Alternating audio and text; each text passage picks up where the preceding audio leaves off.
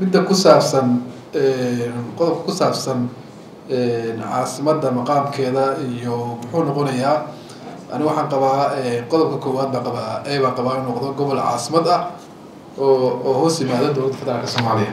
Hay'adda gacanta ku haysa dhammaystirka dastuurka qabyo qoraalka soomaaliya ayaa kulan wadatashi ah waxay la qaadatay xubno ka tirsan golaha wasiirada xukuumadda federaalk ee soomaaliya kulankan oo ay soo qaban qaabisay wasaaradda cadaaladda iyo arrimaha dastuurka soomaaliya ayaa waxaa ka soo qayb galay xubno ka tirsan golaha wasiirada xukuumadda soomaaliya guddiga madaxa bannaan ee dib u eegista iyo hirgelinta dastuurka guddiga la socodka dastuurka ee heer baarlamaan iyo mas'uuliyiinta wasaaradda cadaaladda soomaaliya.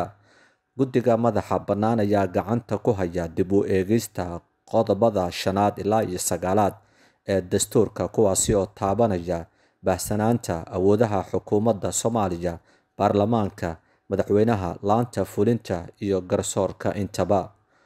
Ugu horeyntii shirkan waxaa daafuray wasiirka cadaaladda soomaaliya mudane xasan macalin oo ka jeediyey khudbad muhiima oo taabanaysay arrimaha dhammaystirka dastuurka soomaaliya. Wasiirada maanta loogu yeeray la tashiga cutubyadan shanta ah ee aada iyo aada muhiimku ah keliya ma ahan in laydinla tashanayo xukuumadda dan qaran ayaa waxaad wakiil uga tihiin una xil saaran tihiin dalkan waxaad xil saaran tihiin siyaasadda siyaasaddana waxay ka mid tahay dastuurkan wuxuu ka mid yahay ballanqaadkii aan ballan qaadnay marka adinka dadka ugu horreeya ayaa tihiin in mataqaana aad arrintan inaad u istaagtaan. Xubnaha golaha wasiirada ayaa yeeshay dood iyo aragti wadaag ku saabsan shanta cutub oo ay gacanta ku hayaan guddiga madaxa bannaan ee dib u eegista iyo hirgelinta dastuurka. Hadda dowlad goboleedyaa jira dowlad goboleedyada jiraana si un bay ku samaysmeen oo marxalado kala duwan iyo qaabo kala duwan bay soo mareen. Dowlad goboleedyada jira haddee gobollada qeybtoodna dastuurkii markii hore inoo qornaa oo ahaa laba gobol iyo ka badan waa waafaqeen qaarna ma waafaqsana.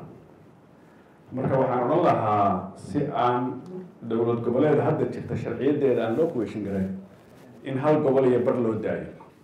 Gabar muslim ajanabiya diinta islaamkana maxarimine soomaali buufiska ay qabaan anuga garan waaye oo bahashaan meeshaan uga buuxo arrintaas aniga runtii inaan highlight garayaan rabaa. Waxaan qabaa ninka muwaadinka soomaaliyada qofka diintiisa dee baa lagu raacaa iyo dhaqankiisa iyo wanaagiisa ma qabo marka inaanu xaquuqdaas la xadido oo la yidhaahdo ma qabi karo naaga janabi ninkii xil qabanaya ama gabadhii xil qabanaysa arrintaas marka waxay la tahay is very clear on my side in aan mataqaanaa xuquuq gaar ah qofka aan laga xanimin as long as gabadhaasi gabar mataqaanaa aan islaam ahayn isan ahayn anugu ma qabo in arrintaas la xadido midda kale oo ayadana soo noqnoqotay oo su'aalaha ku jirta waa dhalashada dad kale ma la haysan karaa.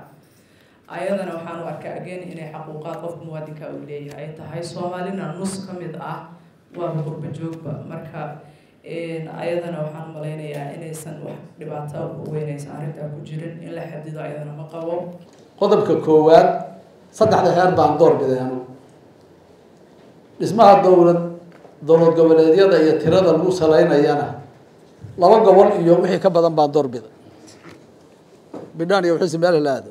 Caasimadda ee baan idhi gobol caasimad ah oo hoos yimaada dowladda federaalka. Ama tan ha noqdo meel kale ha noqdo ya. Waa saas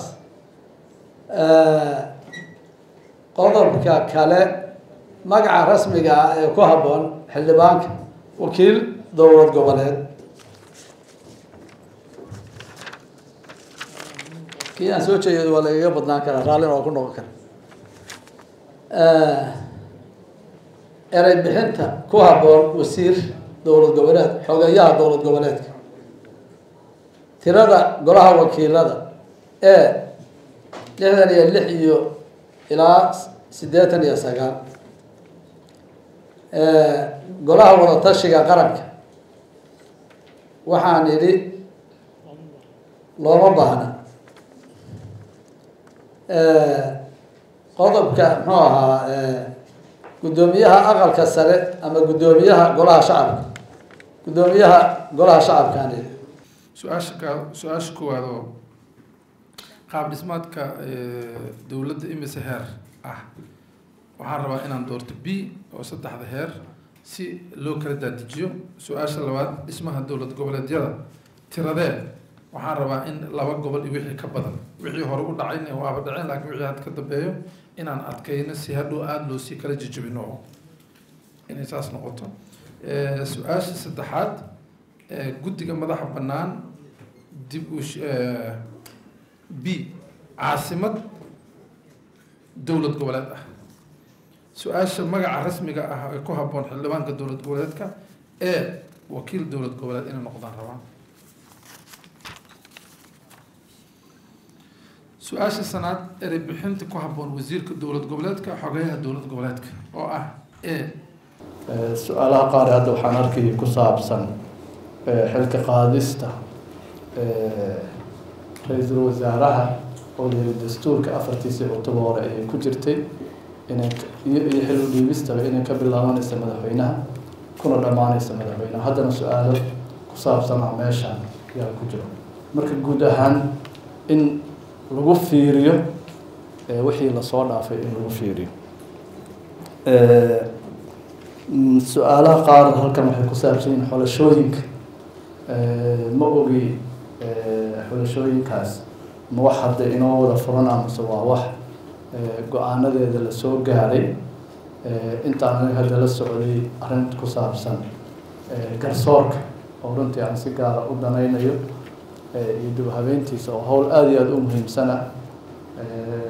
Anigana aanba u arko qodob cutubka sagaalaad inuu yahay cutubka ugu muhiimsan dastuurka marka loo fiiriyo cutubyada kale maxaa yeele hay'adihii kale waa noo soo dhismeen. Habka loo dhisayana waanu garanay aanba wax ka bedella haddaan doono. Wasiirka cadaaladda iyo arrimaha dastuurka soomaaliya ayaa soo gebagabeeyey kulankan wadatashiga ee lala yeeshay xubnaha ka tirsan golaha wasiirada ee ku saabsan qabyatirka dastuurka jamhuuriyadda federaalk ee soomaaliya. Su'aalahan iyo xubnahooda dhammaantoodba oo maalmahan ka shaqaynayay si hagar la'aan ah oo dhabar adayg leh uga soo shaqaynayay oo mintidnimo leh runtii meel wanaagsanna soo gaarsiiyey aada iyo aad ayaan ugu mahadcelinay labada guddi. Waxaan is leeyahay waa hawl collectively si wada jir ah loo wada qabtay oo meel wanaagsan la soo wada gaarsiiyey. Gabagabadeedii iyo goolkiina runtii ay noo muuqato. Soomaaliya saad sheegteenba waxqabadka iyo dhaqaaqa. Ha loo dhaqaaqo dastuur ha loo dhaqaaqo dagaal meel kasta oo loo dhaqaaqaba in soomaaliya ay hore u socoto waa la wada qiray intaas ayaad maaragtay runtii waxweyn noo ah. Wasiirada iyo dhammaan inta kaleeto maanta ka soo qayb gashay iyo guddiyada waa mar mar labaad mar saddexaad.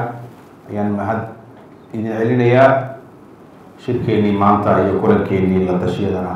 Halkaas ayaan ku soo afmeerina waad mahadsantiin internet balas. Waa adeeg ay macaamiishu ka heli karaan internet fiber ah oo xawaarihiisu yahay labaatan megabytes per second. Ayna la socdaan rasiifar ay ku jiraan in ka badan afar kun oo kanaal iyo boqolaal daqiiqado oo ah ku hadal bilaash ah